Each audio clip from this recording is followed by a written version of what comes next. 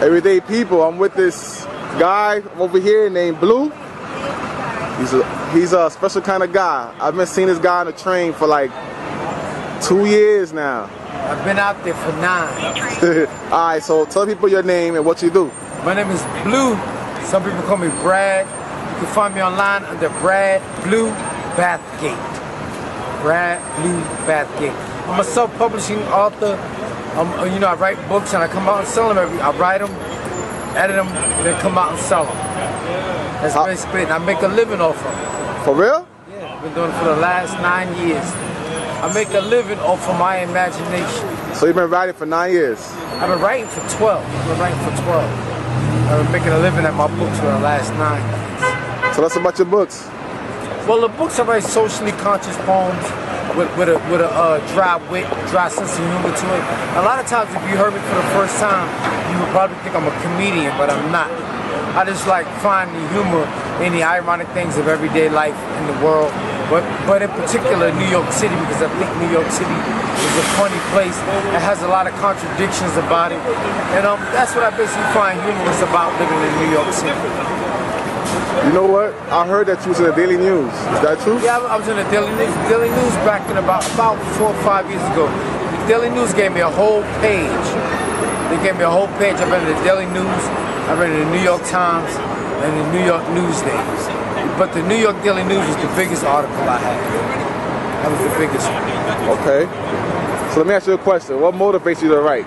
I just love to write. I like to give people something to think about, something a different. Um, I just like being creative. You know, like if I don't write, then it's, then I feel frustrated. So to me, writing is a way of releasing my anger and uh, things that are pent up in me.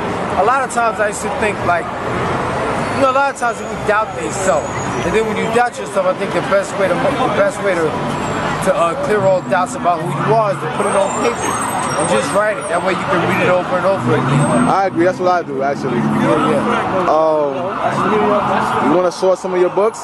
Oh, this is my first one. My first one was entitled Corner Stores in the Middle of the Block.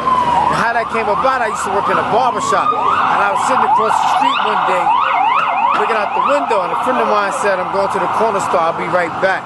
And I noticed the corner store wasn't on the corner. It was in the middle of the block. Right. So we still call it the corner store. Then my other book is entitled Don't Beat Your Children or They'll Turn Out Like Me.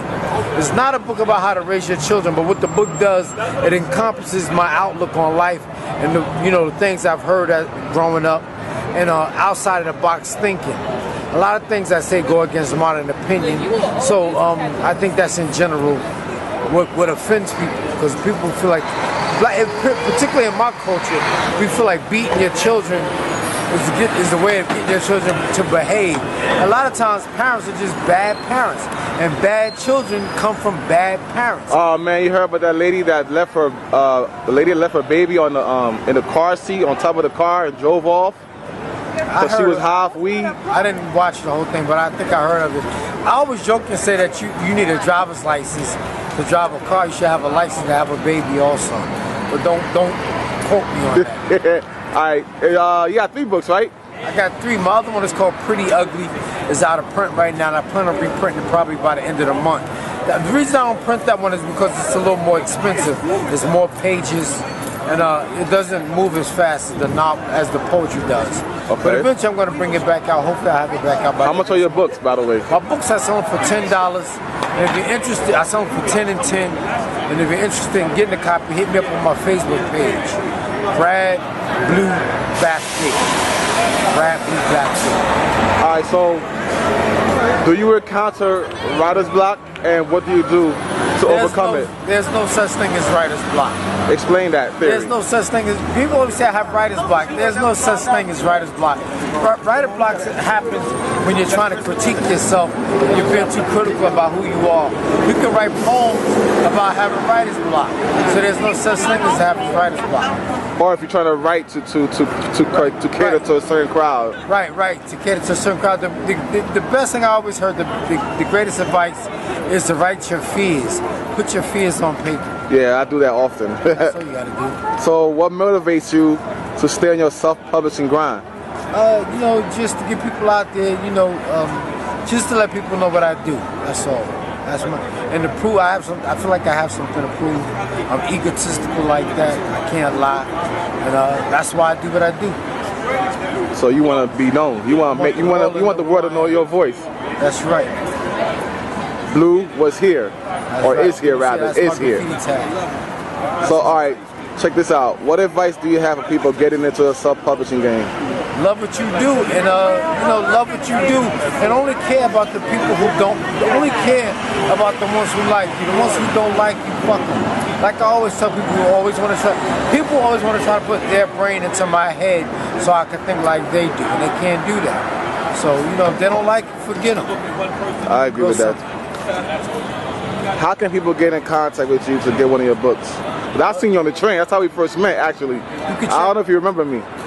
Uh, a little bit yeah I'm Brad Blue Bathgate and you can reach me at 917 736 8047 917-736 917-736 8047 All right. So, is there anything you want to tell the viewers, everyday people viewers here?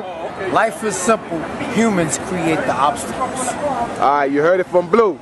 All right. We out. That's right. Thank you very much, man.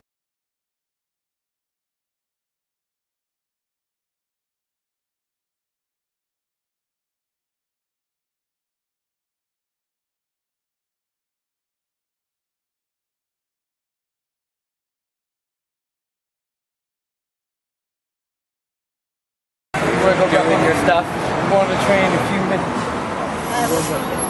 Uh, look, I, just looking at your pocket. Um, really good stuff. Great poetry. Funny too. Funny, Yeah, yeah. funny, funny, funny. Thank you very much. Thank No, I really do. I'm not blowing smoke. I really do like your stuff. I do. Good luck. It's edgy. And the and the self, doing it yourself, I think, is a great idea. In my opinion, it's so hard. The publishing world is so. When people write, people think like you write a book, it's just gonna fly off the shelf. you know, I tell people, I say, you know, a million people that have beautiful voices and they don't have record deals. So come on, now, you know, you know, people wait for television, radio for validation. validation. Yeah. Well, that's the problem too with publishing. Is it's the people that like are famous in something else that go, I know what I'll do. I'll write a book. And then because they're popular, they can Right, right. Then they get it right, like these people, like the uh, housewives. I think they have a- Or Madonna's children's books. They're awful. In my opinion, they're awful. They're horrible.